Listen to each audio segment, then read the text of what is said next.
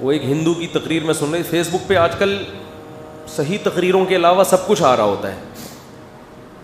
चलाते रहो ना यूँ करके। तो हिंदू पंडित की तक एक बड़े हैं, यहाँ डिस्टेम्पर विस्टेम्पर काफ़ी लगा के आए हुए होते हैं वो।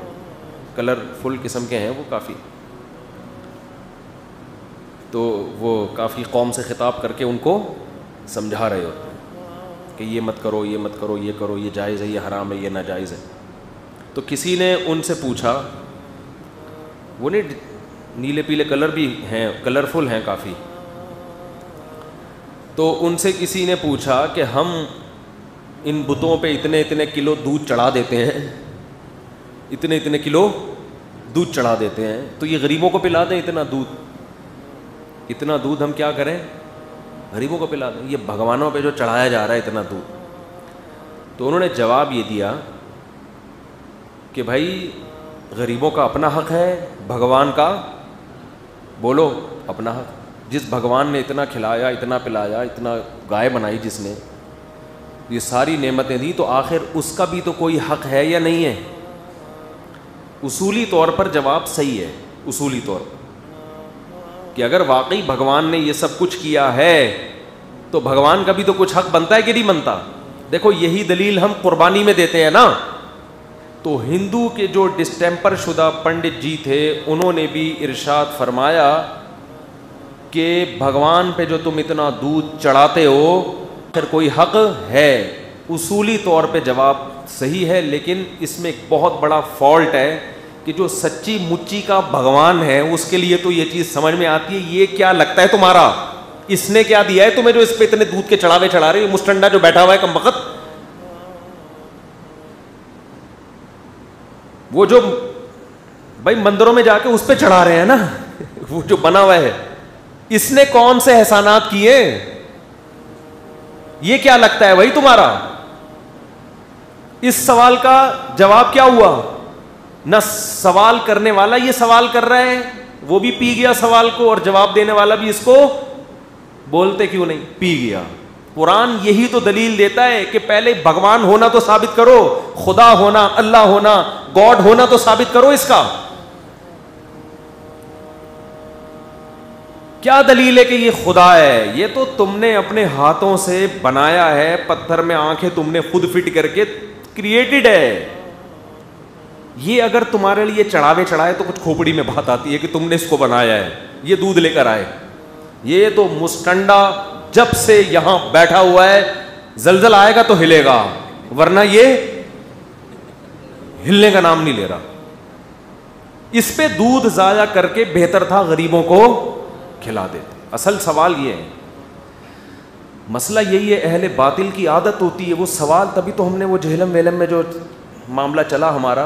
तो असल सवाल ये था कि ये जो तुम इसको इतना भगवान को दूध पिला रहे हो तो ये कौन है? इसको किसने बनाया, ये तो तुम्हारे हाथों का बना हुआ है। इसकी क्या दलील है कि ये जो असल खुदा है आसमानों में, ये उसका नुमाइंदा है ज़मीन पे? इसकी क्या दलील है?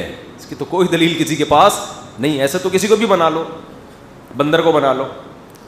कोई भी बंदा बैठ के कहने लगे, लाओ जी दस दस किलो दूध लेकर आओ मेरे लिए, चढ़ावे चढ़ाओ आप। क्यों भाई? मैं भगवान हूँ। तो अब आप नहीं लेकर आ रहे तो आप कहो, देखो, जिस भगवान ने तुम्हें इतना खिलाया, उसको तुम एक आइसक्रीम नहीं खिला सकते। तो भाई, तू पहले ये तो साबित करके तू भगवान है। ये रूहानी आमिल ये काम बहुत करते हैं। रूहानी टोपी ड्रामे ये काम, आमिल तो मेरे लफ्ज़ मुँह से निकलता ही नहीं है। जितने भी रूहानी टोपी ड्रामे हैं, वो ये काम बहुत करते हैं। ये ले आओ हदिये ले आओ, देखो फिर जिन आ गया, चुड़ैल आ गया, तू कहाँ से लेकर आएगा? तुझे कौन सी किताब में लिखा है कि तुझे जिन भगाने आते हैं? तो, खुद शोबत वाज है तू। तो तोहीद इस्लाम के बुनियादी अहकाम में से एक हुक्म है। इंसानियत को इस्लाम ने दावत दी है कि इन पत्थरों के सामने मत झुको इन मज़ारों के सामने मत झुको। ये तुम्हें जहन्नम का ईंधन बनाएँगे। अल्लाह कहेगा कहेगा एक हिंदू बच्ची का फ़ोन आया बेचारी मुसलमान हो गई थी। उसने कहा कि मेरे अब्बा सुबह मिठाई रख के जाते हैं भगवान के सामने। शाम तक वो मिठाई वैसी की वैसी पड़ी रहती है। भगवान को इतनी तौफीक नहीं मिलती कि यूँ मुँह नीचे करके उसको गौर से देख ही ले। भाई, आप मेहमान के सामने कोई अच्छी चीज़ रखो, भूख नहीं भी होगी, दोने वाले तो ले ही लेगा ना। अरे, मेजबान को खुश करने के लिए दोने वाले तो ले ही लेगा, कि यार इतनी मेहनत से इसने बनाया। ये भगवान ऐसा है कि इतनी भी तौफीक नहीं कि यूँ करके देख ले जैसे देख रहा है, वैसे के वैसे ही देख रहा है। फिर अब्बा शाम को आके उठा ले इसका भी, ये भी पंडित जी से सवाल पूछा गया था कि हम तो देखते हैं, मिठाई रखो शाम को वैसी की वैसी। तो पंडित जी का जो इरशाद था, उन्होंने इरशाद फरमाया कि ये जो मिठाई से जो गैसेस निकलती हैं, गैसेस, इन गैसों से भगवान लुत्फ अंदोज होते हैं। इन गैसों से भगवान क्या होते हैं? बोलो लुत्फ अंदोज होते पहली बात तो ये है कि भगवान इतने नफीस क्यों हैं? इतनी पुरतकल्लुफ लाइफ उनकी है भाई? इतना नफीस मेहमान आए, मिठाई सूंघने से उसका शुगर लेवल बढ़ जाए। कहोगे भाई, इतना, इतने नफीस लोग इस माशरे में चल नहीं सकते। दूसरी बात ये कि भगवान लुत्फ अंदोजी के लिए इस गैस का मोहताज क्यों है, जो इसमें से निकल रही है? इसका मतलब वो भगवान नहीं है। वो तो मादी चीज़ों का मोहताज है। खैर, मेरा मकसद अभी हिंदू मज़हब को छेड़ना नहीं है। मेरा मकसद तो ये बताना है कि शुक्र अदा करो, अल्लाह ने हमें क्या बनाया? तोहहीद परस्त। हमारे पास उस खुदा के खुदा होने के दलाइल हैं, जिस पे हम ईमान रखते हैं। एक एथियस ने एतराज़ किया था कि इस कायनात को किसी ने बनाया है, हम मानते हैं, लेकिन अल्लाह ने बनाया इसकी क्या दलील है? समझते हो? भाई, ये कायनात का कोई ना कोई बनाने वाला है। मगर वो बनाने वाला अल्लाह है और उसने कुरान नाजिल किया और वो कहता है, जुम्मे की नमाज़ पढ़ो और वो कहता है, रोज़े रखो और वो कहता है, दाढ़ी रखो और वो कहता है, ये जिना से बचो और ये करो और वो करो। इसकी क्या दलील है? बस वो अल्लाह है? हमें क्या पता कौन है वो? ये तो मौलवियों ने बता दिया, वो अल्लाह अर्श पे बैठा हुआ है और ये कह रहा है और ये कह रहा है। ये तो इनकी बनाई हुई बातें हैं। सवाल नहीं समझ में आ रहा मेरा ख्याल है। इसका जवाब ये है कि आपका वाला जो अल्लाह है ना, जिसको आप गॉड कह रहे हो, वो मार्केट से क्या है? शार्ट है।